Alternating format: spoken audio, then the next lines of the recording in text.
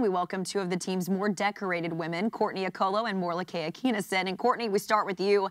Last year, you won the indoor NCAA 400 meter in Arkansas, but injuries kept you from defending the outdoor 400 title. First of all, how are you feeling coming into the meet this weekend? And are any of those injuries going to limit you at all in this weekend's meet? Uh, I feel completely healthy, and um, I haven't really had any problems during fall training, so I'm just looking forward to stay healthy this season. Well, Morolake, you're coming off scoring points in four events at the 2015 NCAA Outdoor Championships. How do you carry that sort of momentum into your senior year? I accomplished so much my junior season here, and I just want to make sure that my senior season is just as good, if not better, than my senior season. So I'm really looking forward to it. All right. Well, Courtney, as you finish up your senior campaign, what are you still hoping to accomplish?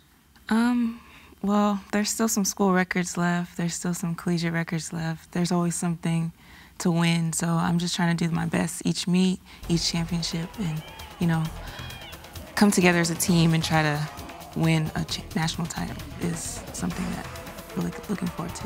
What about some of those individual ones up on the bulletin board? You said there's still a couple of records you'd like um, to beat. Yeah, the school 400 meter record outdoor.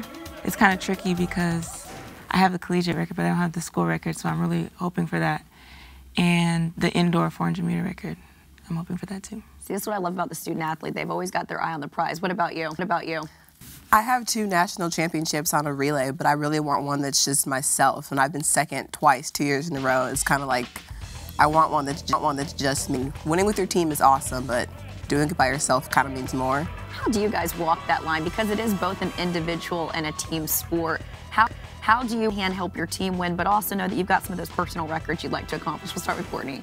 Um, I feel like anytime you try to win individually, you're gonna, you're going to help regardless. So I think if you just focus on doing the best you can in everything you're doing, whether it's an individual event or a relay, I mean, you'll help both the team and yourself. And yourself. Well, with that being said, as this team has not won an indoor NCAA title since 2006, came close two years ago, but they haven't won one since 2006. This year, going into the season, ranked number three in the nation. What have you seen from this group just in practice that gives you the sense maybe that this is the sort of team that could go the distance? Start with you, Morolake. We're a very versatile group. We just don't have a strong area in just sprints or just distance or just the field events. We're very, really versatile. And because we have so many different strong aspects of our team, I think that can really help us going into the indoor national meet, not having to rely on one event group or even just one person to score all the points for the team. What about you? What are you seeing? Um, we have a, a strong freshman class and just newcomers in general, as in transfers and stuff like that. So I think just seeing what they can do and how they can attribute to points, I think that'll make a big difference. You're both on the Bowerman watch list, which is essentially the equivalent of the Heisman Trophy and the track and field and the track. Courtney, you were a finalist for the award in 2014. What does it mean to be considered for an award like that?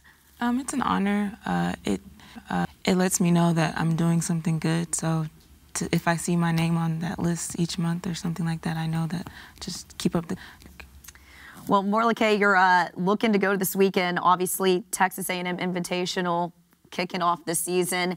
This, how do you think you guys compare to the rest of the field? Um, I think that we have we have a great advantage in the fact that we've been taking our fact that winning slow and steady, and a lot of us are really strong, not just weight room strong, but we have a good strong foundation of just being in shape underneath them while we might not run as fast right off the bat, when it comes time for championship season, we're all getting ready to really be fast, be strong, just be far, throw far. All right, well, I'm excited. You guys are kicking it off, as I said, this weekend. Appreciate both of you coming in. Thank, Thank you. you.